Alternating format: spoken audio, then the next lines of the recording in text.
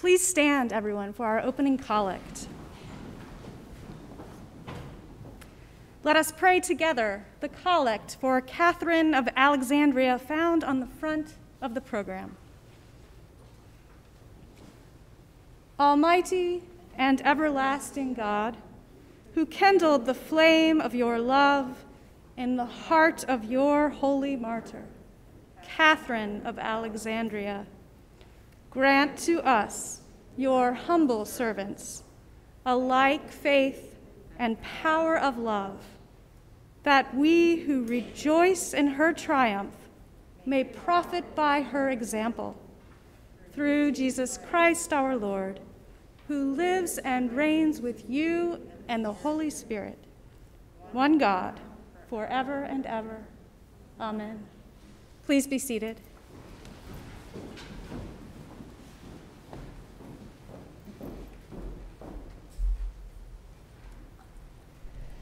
A reading from the Gospel according to Matthew. When Jesus saw the crowds, he went up to the mountain, and after he sat down, his disciples came to him. Then he began to speak and taught them, saying, Blessed are the poor in spirit, for theirs is the kingdom of heaven. Blessed are those who mourn, for they will be comforted.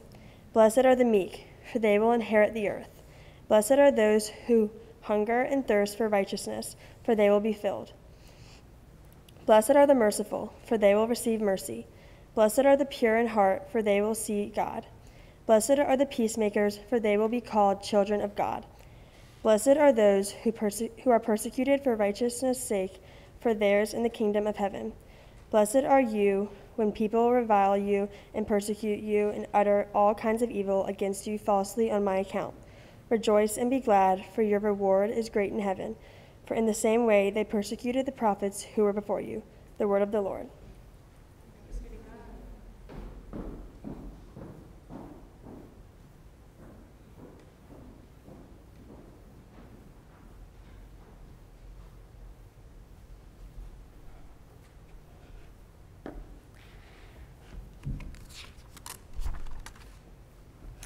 St. Catherine is the patron saint of Christian schools. Her story is a combination of legend and some historic fact. Eusebius, a bishop and historian who in 320 CE wrote the first history of the church, mentions Catherine's youthfulness and noble character.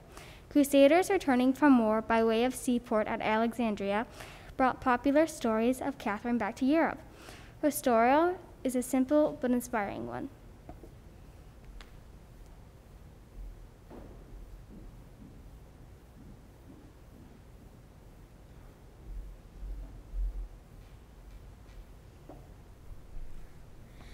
Catherine lived around 300 CE in the famous city of Alexandria, Egypt. The city, besides being a seaport, was a famous intellectual center and was proud of its world famous library. Catherine was a young scholar. With the support of her family, she was afforded a superior education.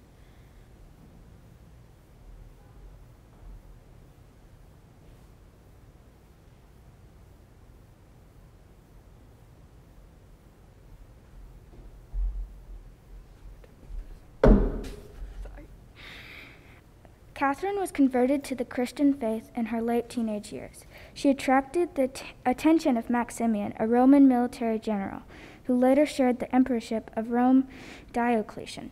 Maximian wanted to marry Catherine. He was, however, opposed to the Christian faith, believing that it caused the ancient gods of Rome to curse the success of the empire.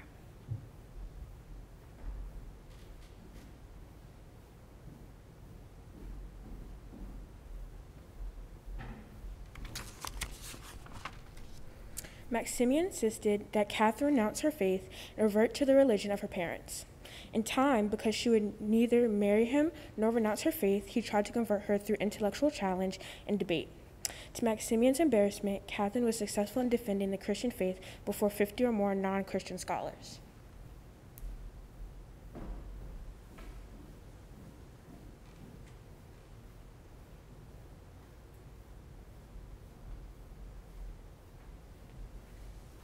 Later, in an attempt to revitalize the Roman Empire, emperors Diocletian and Maximian initiated a wave of Christian persecution.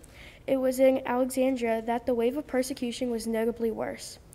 The death penalty was revived for Christians in 304 CE. Catherine was among those who, who those drawn to the emperor's last effort to force Christians to denounce their faith.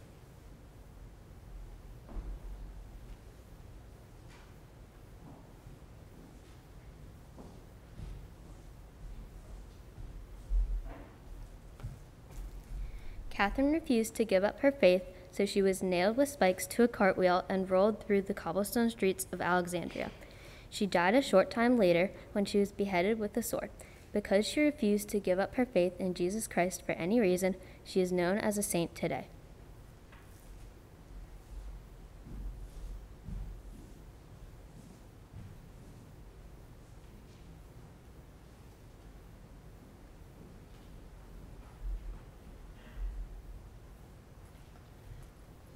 This book symbolizes the virtue of knowledge.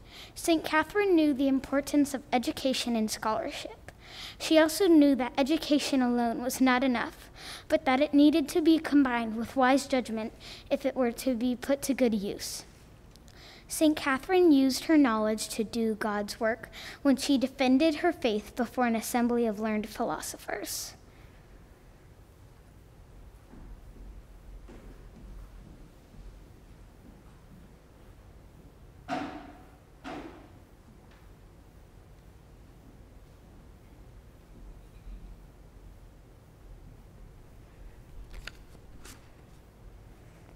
This ring symbolizes the virtue of faith. St. Catherine lived a life of faith in God and God alone. Her faith was so strong that she would not give it up for any reason not for marriage, not for prestige, not for her life itself. The source of her faith was the God she loved more than anything else.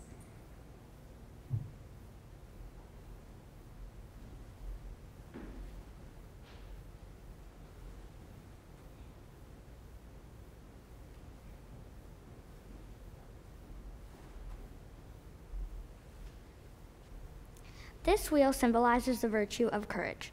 St. Catherine lived at a time when Christianity was considered a threat to the Roman nation. It took courage for St. Catherine to be a Christian when the world opposed her. St. Catherine's courage was so great that she was able to face even the torture of being nailed to a wheel and rolled through the streets of the city.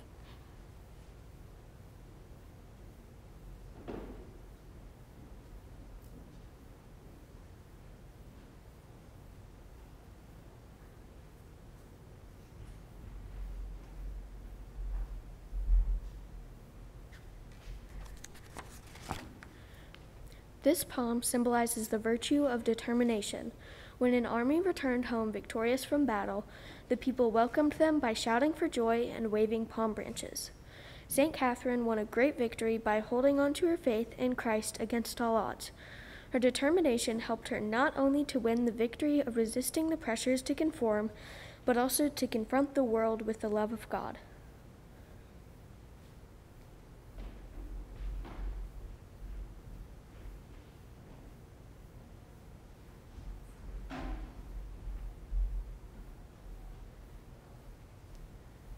This crown symbolizes the virtue of hope.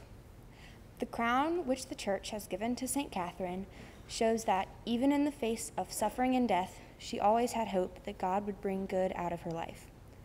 Her hope was the assurance that God's will would be done, and it allowed her to die in peace, a true martyr.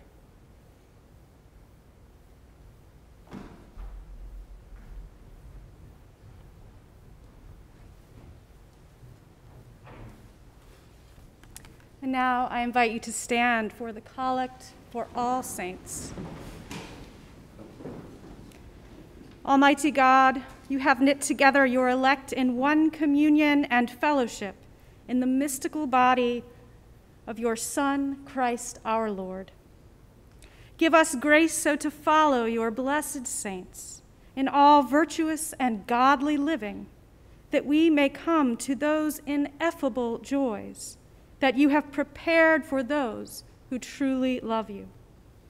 Through Jesus Christ our Lord, who with you and the Holy Spirit lives and reigns one God, in glory everlasting. Amen.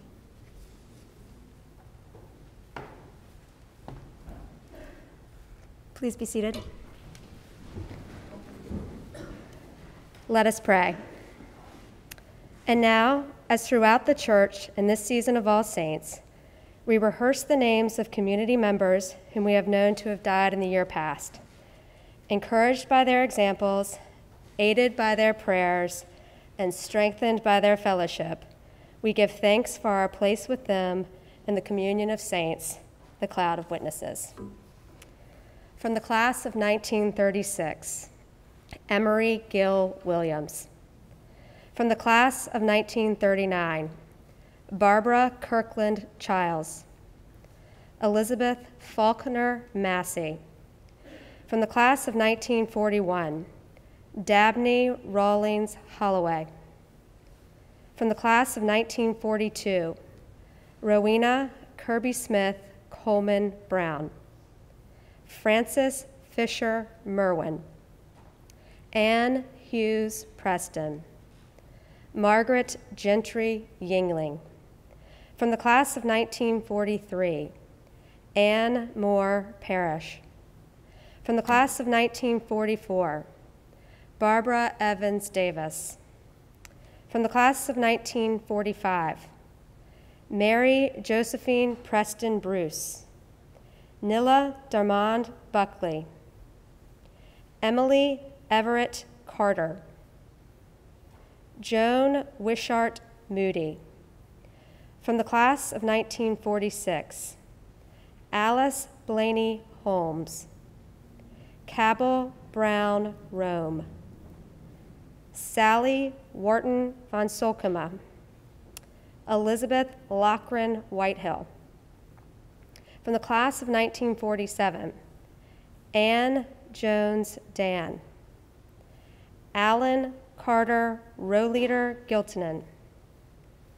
Barbara Rich Jackson. Marjorie Bunce Monroe. Nancy Giles Payne.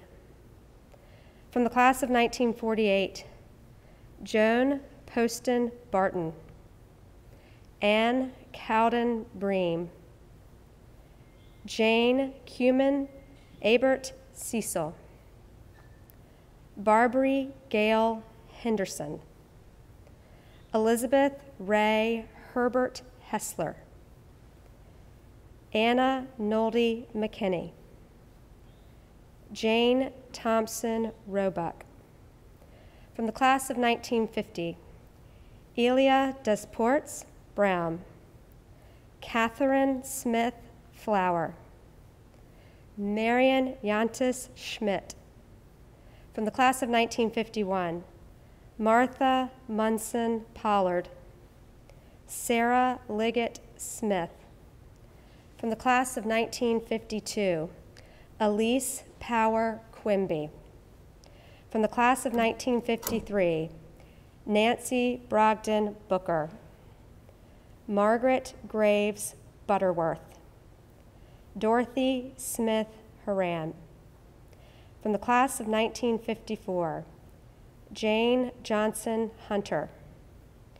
From the class of 1955, Susan Bird Blanchard. From the class of 1956, Elizabeth Rains Grinds. Catherine Ward Leisure. Ashby Dunn Scott. From the class of 1957, Julia Howard Grimstad. Carolyn Christison Manley. From the class of 1960, Jean Cawthorn Ely. Melissa Lee Evans. Terry Davick Rowe. From the class of 1961, Emily Bryan Jeffries. Nancy Temple Samuels. Cordelia Selden Steinecker. From the class of 1962, Cordelia Harrison Ward. From the class of 1963, Laura Duval Chase. From the class of 1964, Carter Blackford Filer Lankford. From the class of 1966, Mary Teresa White Gautreau. Hildreth McCrae Wheeler. From the class of 1968, Marianne Wood Hastings. From the class of 1970, Elizabeth Marshall Hillsman. From the class of 1973, Tianne Mitchell Gordon. From the class of 1977, Olivia Hayes Immerman. Julie Wellman Maddox. From the class of 1979, Kathy Clash Coleman. Judith Witcher Motley.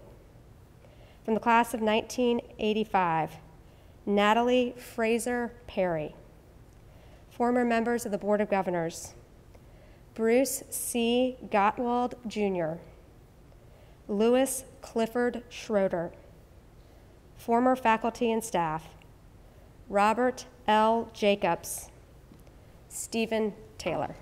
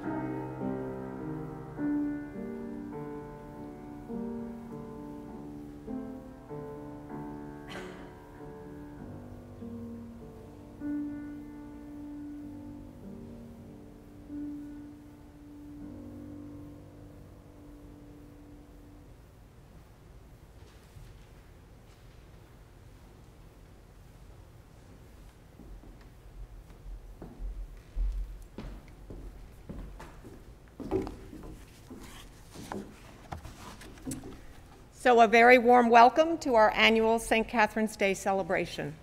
This is always a happy occasion when we gather together as the St. Catherine's family to commemorate the founding of our school by Virginia Randolph Ellett, fondly known as Miss Jenny. It brings me great joy to warmly welcome, if virtually, all our honored guests who join us today who in their senior year were elected by their classmates and faculty to bring St. Catherine's message to the school. We take this time every year to share the story of Catherine of Alexandria, our patron saint. You heard her story, told by our middle school girls, a story we repeat every year. Not only is it a tradition, but it is also important that we remember her life each year and the virtues she exemplified. This gives us the opportunity to reflect on our own lives and on how we demonstrate those virtues in our actions. And just like all of you who are gathered here together, Catherine of Alexandria was a brave young woman who stood strong in her convictions. I challenge all of us to reflect on our own beliefs and to stay true to our own values, just as St. Catherine did so many centuries before. In St. Catherine's honor, this service also recognizes one senior who, by the vote of her classmates and faculty, best represents the ideals of Catherine of Alexandria commitment to scholarship, determination, courage, hope, and faith. I will introduce this year's senior in a moment, and then we will all have the pleasure of hearing from her. As a reminder, this service is held on or close to All Saints' Day in order to give us the opportunity, as we have just done, to honor and remember the lives of those from our St. Catherine's family who passed away in the last year. We remember them fondly for the many ways they enriched our lives and supported this school. The tradition of St. Catherine's Day goes back to 1924 when the junior class, along with our founder, Virginia Randolph Ellett, wrote a play portraying the life of Catherine of Alexandria, who Miss Jenny selected to be our patron saint. St. Catherine's Day first took on the form of an elaborate pageant, but later was simplified to focus on St. Catherine's life and virtues. Before I introduce this year's special senior honoree, I would like to extend my thanks to the clergy and staff of St. Christopher's for their hospitality in hosting us today in this beautiful chapel. Now, it is my distinct pleasure to introduce this year's St. Catherine's Day honoree. This young woman who we celebrate today represents the best of who we are. Our honoree began her journey at St. Catherine's in kindergarten. At St. Catherine's, she was described as a happy little girl who enjoys school very much. Throughout lower school, her teachers praised her maturity, attention to her schoolwork, and sense of responsibility. More specifically, her kindergarten teacher noted she was a great help in keeping our room neat and clean. A role model for other students, even in those early days, she was known for her participation in class discussions and projects and for enjoying working and playing with her classmates. As if foretelling the future, her second grade teacher stated that she is, quote, a St. Catherine's girl through and through. In middle school, our honoree was the recipient of three merit awards that show her continued growth as a scholar and a person of character. One of her middle school classmates noted, quote, she is one of the nicest people I've ever met in my life, and she always thinks of others before herself. Other students love to be partnered with her because she is a hard worker who, quote, makes a point to include people who may not have been included otherwise. Mrs. Baldwin, then director of the middle school, rightly pointed out that our honoree was also, quote, never afraid to be herself. During her time as an upper school student, our honoree continued to excel in academics, athletics, and leadership. Her college counselor noted that she because she is unfailingly unassuming, kind, and poised, she, quote, inspires others to be better people, and, quote, finds joy in celebrating other people's victories. In short, she leads by example. Her outstanding academic record boasts a highly challenging course load and exceptional grades. She has served as a peer advisor, but is probably best known to the rest of you for her athletic prowess. She garnered LIS, All Metro, and All State accolades in field hockey, track, and lacrosse. For her skill as a runner in track, as a midfielder in field hockey, and as a goalie in lacrosse. I'm sure most of the seniors here have already figured out who this is, but to make it official, it is my great pleasure to announce that Mary Eleanor Ellie Horner is our 2020 St. Catherine's honoree.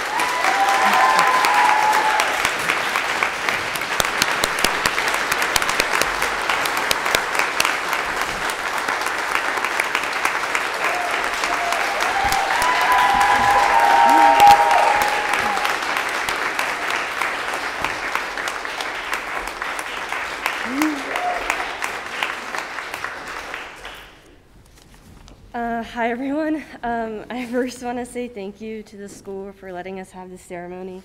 Um, we're all very appreciative of what you've done for us this school year. So, there is this idea in sports that if you practice with someone enough times, you'll start to play like them. Ty Jerome and Kyle Guy have the same form when they shoot their three pointers. Like them, people say that Claire and I have the same, quote, prance when we run. After all of the sprints and drills, and after you play with someone enough, you start to copy their movements and tendencies. This holds true now. While I'm standing here in front of you today, it is really only because of the constant kindness and care that I see each one of you exhibit here at school. While I am standing here, I'm only reflecting the traits I see in you. Each day, I try to display the same happiness, love, and support that you all selflessly give to others. You are amazing people.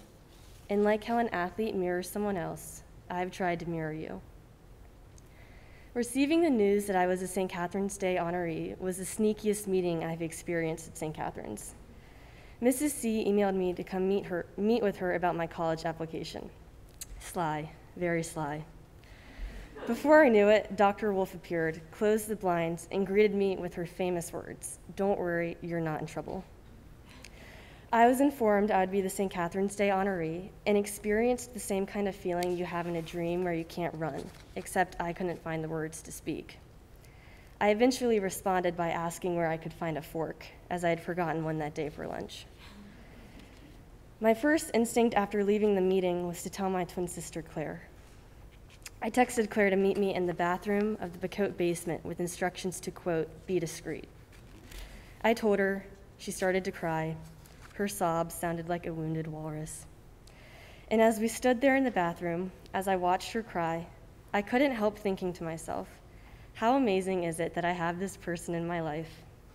That I have this person who I spend 20 hours a day with, that I share a room with and have shared a womb with, and who cares for me, supports me, and inspires me beyond any measurable length. I looked at our reflections in the mirror.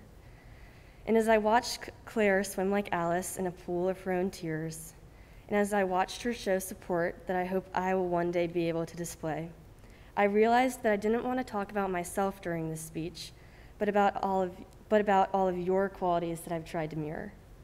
And not just your qualities, but specifically the values of Catherine of Alexandria that you naturally display every day hope, courage, knowledge, determination, and faith. The early learners and lower schoolers have taught me hope. Their positive energy is nothing but contagious, and I can't help smiling as I see them radiating happiness each day on the playground as they see their friends or as they approach learning with an ecstatic eagerness. I have tried to reflect this positivity, and with positivity comes hope. When you water your mind with optimism, optimism grows, and with optimism comes the hope for a good day. I have tried to reflect the courage that middle schoolers display middle school, the time when you are first introduced to stress, when you no longer have recess, and when most people have braces. To say the least, it is not a time most people want to relive. And because of that, I admire the middle schoolers I see every day around the green, on the Washington patio, or exiting the Kinney Center. Middle school is a time when you first start to find your passions, and it takes courage to try new things. I admire those who, with bravery, audition for Joni or Ampersand, who try out for strings, who try out for a sports te- team, whether it be field hockey, basketball, or lacrosse. Middle school, your courage is commendable, and I thank you for showing me how to be brave. To my upper schoolers, you all hold the knowledge I hope to attain and the determination I hope to exhibit. While I admire the intelligence of the Albert Einsteins of our generation, cough, cough, Amelia and Catherine, and of the future Beethovens, Lilibet, I'm looking at you, I also admire the knowledge people possess that is not related to academics and the determination you exhibit towards displaying this type of smarts. The knowledge of simply how to be a good classmate, a good friend, and a good member of the St. Catherine's community. My Chinese class, five years going strong, led by the fearless Mrs. Zhu, has taught me how to be a good classmate. When a student answers a challenging question correctly, the class bursts into applause, sometimes even chanting, quote, Chinese scholar, followed by a series of claps. This support has taught me that being a good student should come second to being a good person, always, and I should support and be happy for any other student's successes. I have learned how to be a caring member to the community by watching people hold doors for one another, by watching teachers make fudge for their classes during winter exams, and by watching upperclassmen help underclassmen find their way around Turner or Armfield, and so much more. And I've learned how to be a good friend by watching your kindness towards one another. No, I told you so's or arrogant remarks when a friend makes a mistake, just pure kindness. I couldn't just fill a novel about the kindness I witnessed each day. I could write a series as long as the Harry Potter heptology. The St. Catherine's community as a whole has taught me faith faith in the goodness of our community, in the strength of our relationships. I wonder what St. Catherine of Alexandria would be like if she were here today. Would she be wearing an athleta mask? driving a 4Runner, or walking around with an iced coffee from Starbucks? Would she be a starting forward on the field hockey team or a leader of the student council with Isabel? Maybe she would be a member of PAC or an editor of the Atelier. She could be any variation of things, but I know that she would be proud of what St. Catherine's has become, of who you all have become. She would be proud of how her values, hope, courage, knowledge, determination, and faith, prominently live here in the St. Catherine's community. I want to close with an E. E. Cummings quote my mom loves I carry your heart with me, I carry it in my heart. I've been thinking about that quote often over the past few days. I carry your heart with me, I carry it in my heart. Because of all of you and the relationships and experiences I've had with you, I feel like my heart is one big puzzle made up of a million pieces of all of the things you have taught me. Like an athlete mirrors another athlete, my heart is made up of all of your qualities that I try to mirror. There is a piece for your support, for your kindness, and so much more. You all have made me a better person. I admire each and every one of you for the unique perspective and qualities you contribute to the St. Catherine's community. But remember, while I'm standing here today, it is because you have built the heart that guides my actions. I have tried to mirror you. Thank you.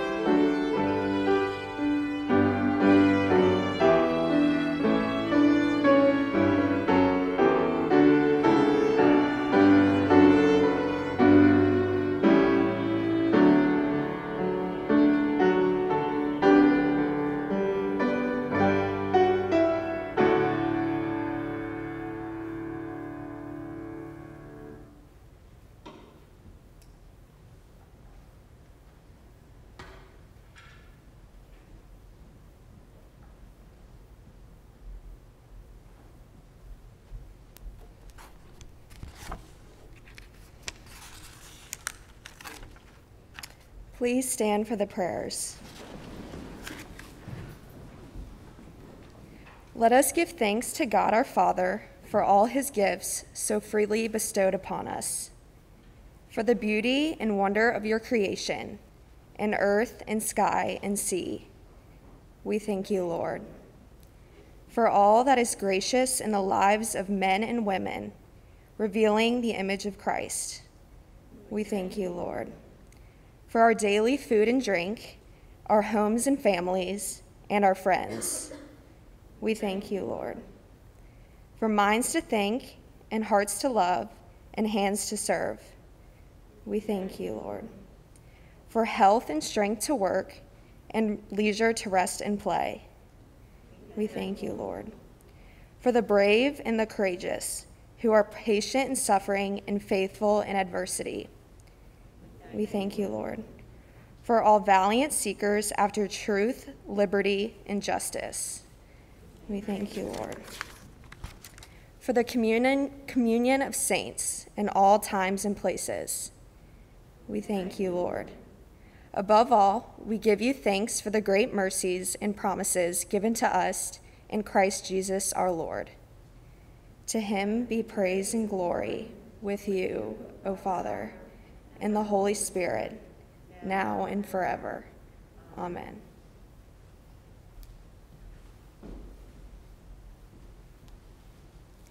Let us pray together our school prayer and benediction. Help us, O God, to remember through the example of Jesus Christ that what we keep we lose. Only what we give remains our own.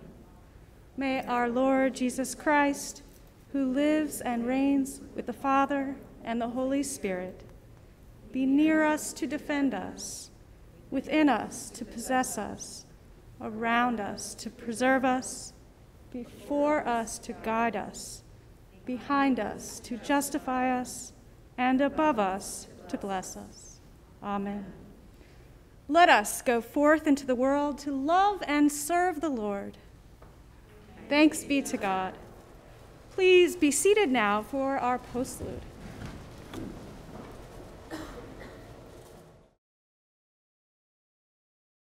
We